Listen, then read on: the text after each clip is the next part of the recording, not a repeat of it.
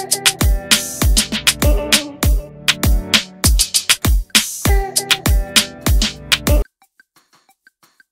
ณะรัฐมนตรีอนุมัติงบประมาณ 4,900 ล้านแก้ไขหนี้ในระบบหนี้นอกระบบคณะรัฐมนตรี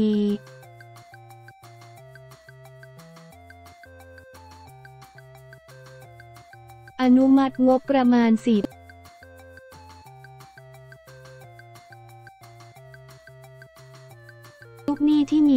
อกระบบสามารถกลับเข้ามาในระบบได้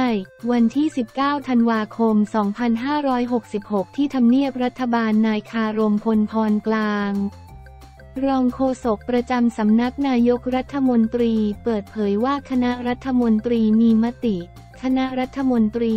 อนุมัติแนวทางการแก้ไขหนี้ทั้งระบบ โดยแนวทางที่ 1 ให้ความเห็นชอบมาตรการจำนวน 3 มาตรการดังนี้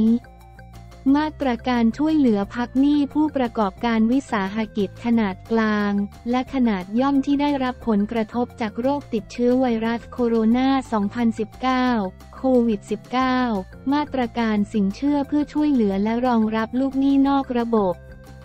มาตรการช่วยเหลือลูกหนี้รายย่อยที่ได้รับผลกระทบจากโรคโควิด -19 ตามโครงการสินเชื่อเพื่อเป็นค่าใช้จ่ายสำหรับผู้มีอาชีพอิสระที่ได้รับผลกระทบจากโรคโควิด -19 และมอบหมายให้หน่วยงานที่เกี่ยวข้องพิจารณาดำเนินการในส่วนที่เกี่ยวข้องต่อไป นายคารมกล่าวต่อว่าส่วนแนวทางที่ 2 อนุมัติงบเงินงบประมาณจากงบประมาณรายจ่ายประจำปีจำนวน 2 มาตรการได้แก่ 1. มาตรการช่วยเหลือพักหนี้ผู้ประกอบการวิสาหกิจขนาดกลาง และขนาดย่อมที่ได้รับผลกระทบจากโรคติดเชื้อไวรัสโคโรนา 2019 โควิด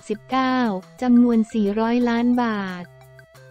นายคารมกล่าวอีกว่าและ 2. มาตรการสินเชื่อเพื่อช่วยเหลือและรองรับลูกหนี้นอกระบบจำนวน 4,500 ล้านบาท รวมทั้งสิ้น 4,900 ล้านบาท และมอบหมายหน่วยงานที่เกี่ยวข้องดำเนินการในส่วนที่เกี่ยวข้องต่อไป การแก้ไขหนี้ในระบบและหนี้นอกระบบ จะช่วยแบ่งเบาภาระหนี้ของลูกหนี้ในระบบ ช่วยเหลือให้ลูกหนี้ที่มีหนี้นอกระบบสามารถกลับเข้ามาในระบบได้ และป้องกันไม่ให้ลูกหนี้ที่มีหนี้ในระบบกลับไปเป็นหนี้นอกระบบได้อีกสามารถบรรเทาความเดือดร้อนให้กับประชาชน ช่วยให้ประชาชนสามารถผ่อนชำระหนี้ได้สอดคล้องกับศักยภาพในการหารายได้ พร้อมทั้งผลักดันให้ประชาชนสามารถเข้าถึงสินเชื่อในระบบได้อย่างเหมาะสมเป็นธรรม นายคารมกล่าว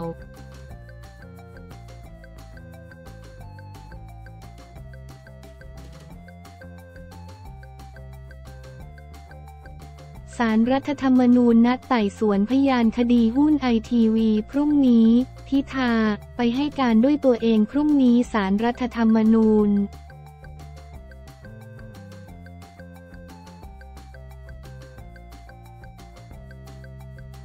นัดไต่สวนพยานคดีหุ้นสื่อไอทีวี ทิธาไปให้การด้วยตัวเองด้านสำนักงานศาลไม่สั่งเพิ่มมาตรการเข้มความปลอดภัย เหตุไรคลื่นไหวบุกป่วนเมื่อวันที่ 19 ธันวาคม 2566 ผู้สื่อข่าวรายงานว่า การประชุมคณะตุลาการศารรัฐธรรมนูญ ในวันที่ 20 ธันวาคมเวลา 9 นาฬิกา 30 นาทีมีกำหนดนัดไต่สวนพยานบุคคลกรณีที่คณะกรรมการการเลือกตั้ง ผู้ร้อง ส่งคำร้องขอให้พิจารณาวินิจฉัย กรณีนายพิธาลิ้มเจริญรัตสมาชิกสภาผู้แทนราษฎร ผู้ถูกร้อง เป็นผู้ถือหุ้นในบริษัทไอทีวีจำกัด มหาชน ซึ่งประกอบกิจการหนังสือพิมพ์หรือสื่อสารมวลชนใด ๆ อยู่ในวันที่สมัครรับเลือกตั้งสสแบบบัญชีรายชื่อ เป็นเหตุให้สมาชิกภาพสส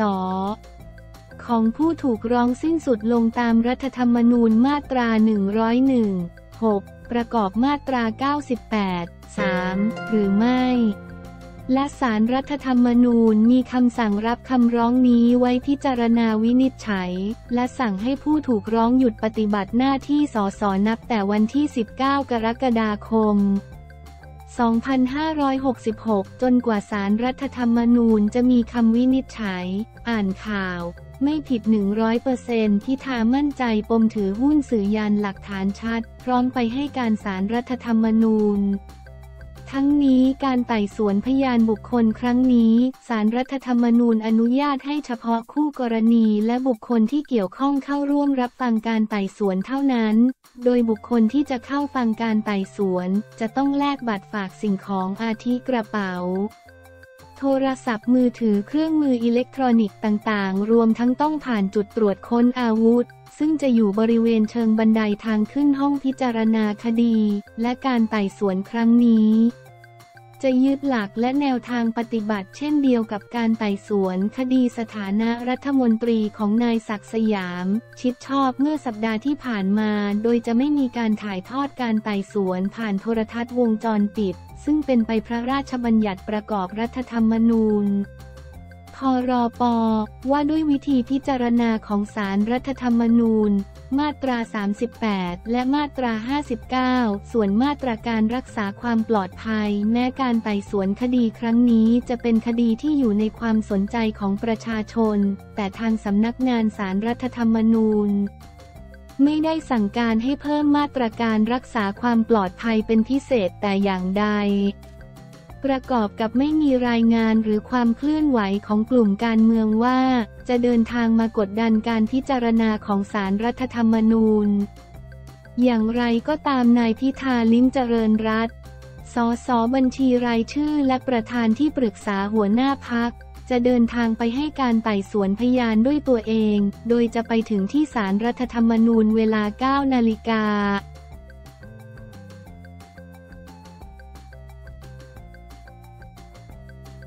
โปรดเกล้าโปรดกระหม่อมแต่งตั้งผู้บัญชาการเหล่าทัพเป็นสวหลังคนเดิมพ้นตำแหน่งราชกิจจาเผยแพร่ประกาศพระบรมราชโอง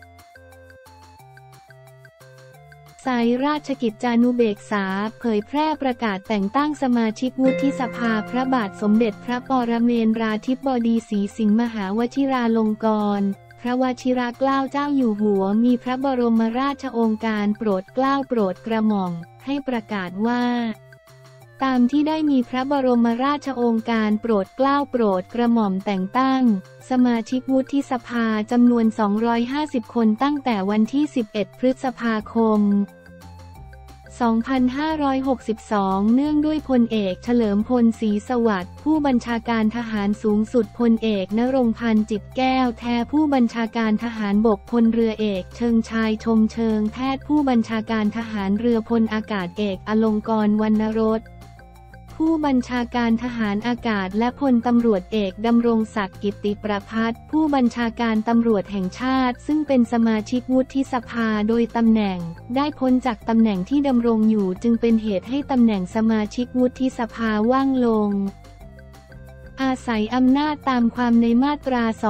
269 ของรัฐธรรมนูญแห่งราชอาณาจักรไทย จึงทรงพระกรุณาโปรดเกล้าโปรดกระหม่อมแต่งตั้งสภาชิกวุฒิสภาแทนตำแหน่งที่ว่าง ดังต่อไปนี้หนึ่ง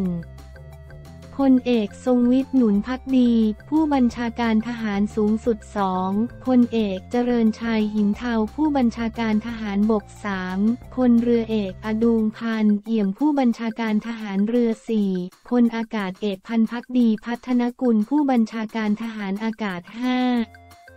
พลตำรวจเอกต่อศักดิ์สุขวิมลผู้บัญชาการตำรวจแห่งชาติ ทั้งนี้ตั้งแต่บัดนี้เป็นต้นไป ประกาศณวันที่ 17 ธันวาคม พศ 2566 เป็นปีที่ 8 ในรัชกาลปัจจุบันผู้รับสนองพระบรมราชโองการพรเพชรวิชิตชนชัยประธานวุฒิสภาอ่านฉบับเต็มที่นี่ 15,440.pdf s o f g o t h